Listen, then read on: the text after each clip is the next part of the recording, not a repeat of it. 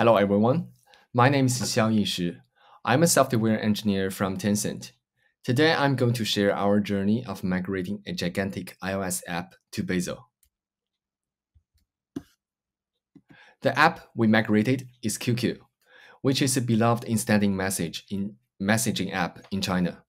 Compared to other instant message apps, it comes with a full pack of entertainment features like games, short videos, and etc.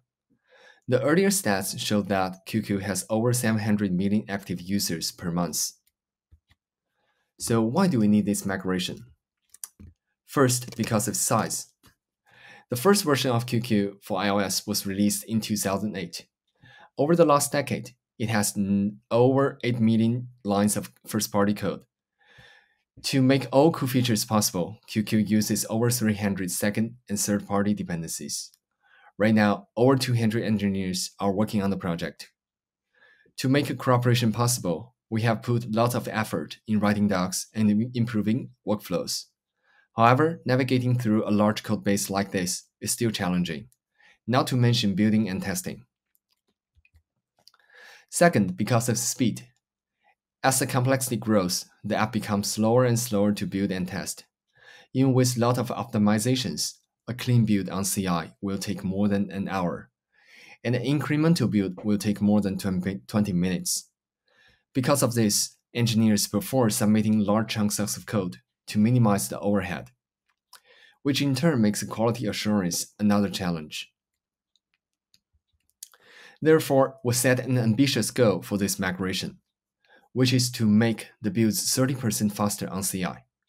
And if things worked out smoothly, we want to improve the build and test experience on workstations as well, and eventually improve the performance of the team. Before we start, I'd love to go through some of the attempts we tried earlier. This should help you decide which is the best path forward. The first one is a hack over the existing Xcode build system. It is the most transparent to engineers the fundamental idea is to override the default CC and LD tools with a wrapper and provide centralized caching ability in that. So when the tools are invoked with the same arguments, we can return the cached artifacts instead. However, as there's no way to guarantee that everyone uses the same version of the tool, and some transitive dependencies may escape from the dependency analysis. As a result, the cache can be easily polluted and cause incorrect builds. The second one is through pre-built modules. We ask the feature teams to break the product into smaller chunks and re release them as frameworks. By doing this, we only need to build once, and other teams can download frameworks without waiting for the build. However, this solution turned out to be problematic as well. With Xcode, there's no way to create a strong module boundary. Even with modular design in mind, people can easily use another module's code by mistake. So modules are still tightly coupled with each other, which makes releasing them a huge problem. Most important, most importantly, debugging pre-built binaries is not fine at all. After seeing previous successful migrations, we decide to give Bazel a try. Bazel is known for being fast and correct through hermetic and reproducible builds so it's guaranteed that we can get the best part of the previous attempts without those pitfalls. After poking around with some small modules in QQ, we realized that migration won't be easy. There are three major blockers. The first one, Xcode encourages base name only imports and supports recursive search paths. To avoid having performance issues when having too many search paths, Xcode actually extended CLang to support a header map for lookup. However, as Bazel is not bound to CLang, there's no special optimizations for this, which makes the header lookup extremely slow. Second, as I've mentioned earlier, we have switched to a module design. So each module, man each module manages its own set of build settings. As Xcode doesn't support config inheritance across the project, there are a lot of inconsistency in those configs and makes writing build files a nightmare. Last, because we have hundreds of CocoaPods dependencies, and not all of them behave. To those who are unfamiliar with CocoaPods, it is a dependency management system written in Ruby and uses Ruby scripts as configs. Because of this, people can do arbitrary things in it, and we have seen cases where people run downloaded scripts while declaring a dependency.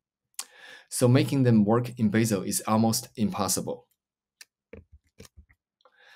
With these challenges in place, uh, asking the feature teams to, to perform the migration will only scare them away. Instead, we decide to automate the process by generating the build files and run Bazel as a shadow build system, so that we will be able to collect performance data without changing a thing, and let the numbers speak for themselves. In a nutshell, we want our users to forget about the build files and let the tool generate them. How do we generate a build file? Let's take a look at an example library target. The most important part is the source and deps, which defines the library and the relation between them. These configs are considered as the foundation of a target. The other part is the build settings, which controls how the compiler works, like the macros and toggles the certain compiler features. To summarize, as long as we can figure those out, we can generate a build file. QQ is written with Objective-C. Let's take a look how OC is built. Here's a piece of OC code, which implements an example class, which, is, which has a sayHello method to log a greeting message. This file has three imports. The foundation framework in the angled brackets for logging, the BZC bundle.h in quotes uh, for getting the year of the BazelCon, and, and the last one, the example.h for the class definition. It seems quite straightforward, but can you tell which BZC bundle.h it is importing? To answer this, we need to look at the build script. Like all C family languages, build flags plays a critical role.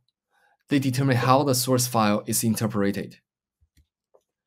The dash i flag sets a header search path, which in turn determines the actual dependencies of a source file. Other, other Clang flags are the build, build settings.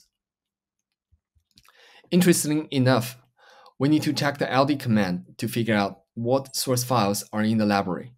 As you can see, the library has only one object file in it, and the file generating that object file is the source file for the library. To sum up, Objective-C is now designed for automation. It has no convention at all, and the configs are everywhere, which makes us wonder, is automation possible? Of course, it is, it is possible. Let's make it work. The first step is to define the problem, which is resolving ambiguous imports. When the compiler resolves an import, there are three factors in play. First, the import statements, then the content of the codebase, and last, the build settings. As shown on the slide, by changing the order of the header search paths will result in totally different build results. This is because when the imports are ambiguous, the compiler will try each of the header search paths to see if there's a header file exists underneath that and use the first encounter as a search result. The naive solution is to capture all three and resolve imports accordingly. But this is way too error prone and slow. The intuition is that when someone writes the code, they have a clear idea of what file is needed. But as only partial information is kept in the source file, it has a tendency to, to deteriorate. So as long as we can preserve this information, we will be able to tell exact file it is importing. To recover this information, our approach is to use step files generated during the Xcode build, which includes all the trans trans transitive dependencies of a target. This works because if our users are happy about the build result, the header resolution must be correct we create a tool to expand imports to the full path relative to the workspace root. so that we can tell or we can tell the dependencies from the source files alone. The second problem is to figure out the source and, and build settings. As I've mentioned earlier, this information is hidden in the final build command, and those commands are generated with Xcode magic. After realizing we can't counter the Xcode spell, uh, we settled with the approach of finding the source files for a target from the Xcode project files, and using xcodebuild, which is part of the Xcode toolchain, to figure out build settings inheritance, and eventually use Xcode build, setting, build settings.com to translate those build settings to CLang and LD flags. Now we have all the necessary bits to generating a build file. We decide to extend Gazelle for Objective-C. Gazelle is the build, files, build file generator originally designed for Golang, but can be extended for to support arbitrary languages. As you can see, it's a simplified root build file. It has a Gazelle target, and one can use Bazel run Gazelle to generate build files for the entire workspace. As we have extended Gazelle to take Objective-C related directives. So when running it, it will know which Xcode config file to use. Now all we need is to make sure that people run Gazelle after writing the code. Instead of changing the workflow, we create a small script to run Gazelle from git commit hook. Also, to make it run fast enough, we should pre-build Gazelle in the repository and tune it to perform incremental updates based on the change. With those efforts, no one will ever need to create or update a build file manually. So far, we have managed to introduce Bazel without changing the workflow. However, to finish the migration, we need to use it. Given the size of our app, we need to do this gradually so that all the changes are well tested before hitting the market. The strategy is to leave Xcode alone, then run Bazel as a shadow, and finally take over. This rules out tools like 12c, as it will jump to the final step and forces everyone to accept Bazel as the source of the truth. The idea is simple. Don't touch the existing Xcode targets and create a shadow one to build the source same source file with the, conf, with the same config in Bazel. Then combining the two. We call this hybrid build. The workflow for the engineers stay the same, and because the build system build files are automatically generated, so shadow targets will pick up changes in the original targets without human intervention. After creating those shadow targets, we, we, we can gradually change the dependencies of a shadow target to use other shadow targets. This gives us an independent shadow build graph to work with. Moreover, we can run benchmarks against both build graphs in parallel. The last piece of the puzzle is Cocoa pods dependencies. Uh, we have way too many pods in our app we'd love to use some automation tool to visualizing them. Unfortunately, as I've said before, not all our pods behave, so none of the existing tools works out of the box. As Bazel is already capable of managing external dependencies, so instead of improving tools to support our weird cases, we want to replace Pods with Bazel someday we end up with a semi-automation uh, solution. Uh, let our tool generate the basic skeleton for each part and manually tweak the build files to work. The initial performance um, was not impressive, uh, so we took the path for optimization. After analyzing all the profiling results, the problems boils down to one thing dependencies. The short answer is that the fewer dependencies, the better build performance. In practice, you can use tools like include what you use to reduce the number of imports in the source file, which will then reduce the number of dependencies. Also, elim eliminating precompiled headers will help a lot, as they will become dependency hotspots and slow everything down. And finally, use fine-grained libraries.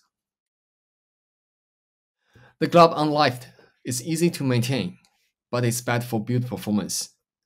First, it will put too many files in the Darwin sandbox and makes it even slower to start. Second, it reduces the cache hit rate as unnecessary files are considered as action input. Therefore, it's more preferable to create libraries with fewer file source files. To illustrate this, here are two identical build graphs. The left-hand one uses coarse-grained libraries, and the right-hand one breaks those libraries to fine-grained ones. The first one will introduce many unnecessary files to the action sandbox, say O A123, B123, and C123, while the latter only includes exact files needed for the action in that sandbox. For instance, when compiling A1, only A1, B1, and B2 are in that sandbox. This may sound trivial, but when you put transitivity into consideration, the size of an action input may differ in orders of magnitudes. And we did it. We gradually migrated all first-party code to Bazel in six months. The stats um, from the shadow build on CI over July showed over 50% time reduction compared to Xcode, and over 70% of the builds will finish within 10 minutes, which is way better than, than the original goal. You may also notice the intersection around the 25 percentile on the, on the chart, which is because the Xcode builds are running on high performance machines, while the hybrid one uses standard VMs. It's also worth to pointing out, um, as we are using the hybrid build, CocoaPods are still built by Xcode. The build time analysis shows that it now has now the most time-consuming part of the whole process, and Bazel only needs a fraction of the time to build way more code. We have started ship um, Bazel build QQ in August, and this migration is a huge win. In the future, we want to switch to a Bazel first workflow so that we can gain better control over the build settings and enforce module boundaries through visibility control. Make build, fa- make build even faster through remote execution and smarter remote caching, ca- caching strategy. In long term, we want to standardize CocoaPods as native Bazel dependencies. Thank you very much